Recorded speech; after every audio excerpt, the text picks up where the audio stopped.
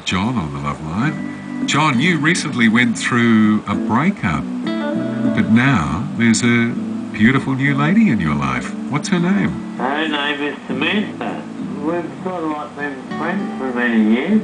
When Emma did the wrong thing and backed out, he said, well, I'd like to start talking to her. And I sort of like started talking to her and things got a bit better and a bit better and now it's uh, not like Emma and I were, but you know, it's, Yeah, there is life for you after having your heart broken, though, John. That's the point.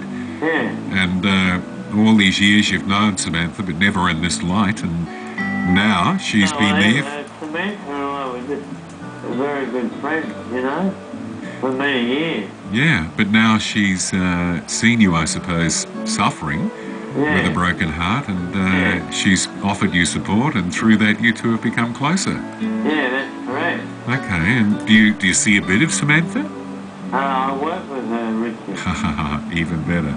Yeah. Even better, John. All right, well, we need to send her out a song tonight to let her know that you appreciate her coming into your life in this way. And Yeah. is there anything you want to tell Samantha, John? Uh, yeah, Samantha, I, I think of you often, and uh, I'm really, really beginning to like you, and uh, I think I'm starting to love you, Samantha.